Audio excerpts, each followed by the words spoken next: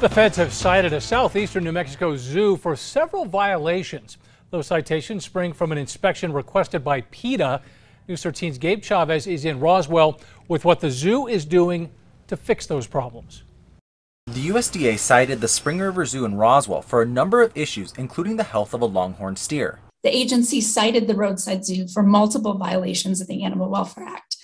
Despite the zoo's promised three years ago to make necessary improvements for animal welfare. The citation states a steer had overgrown hooves. The steer is nearly 20 years old. The zoo says they couldn't provide the care needed for the steer in the time frame the USDA gave. Uh, given the age of the animal, we couldn't find a veterinarian that would be willing to immobilize the animal.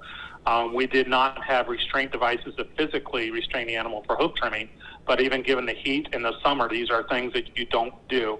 So the criteria that the USDA give us to resolve that situation on a timeline left us no other option than to relocate the animal. This wasn't the only incident listed on the citations, including escapes made by some of the animals from their enclosures. A lack of properly maintained enclosures allowed a bear who was recently transferred there to escape along with a beaver who escaped last year and has never been found. Roswell residents say the zoo should be doing more for these animals, and that should be what's most important. The animals look like bored and like not happy when I have gone to go to the zoo. They just they look miserable. In Roswell, Gabe Chavez, KRQE News 13.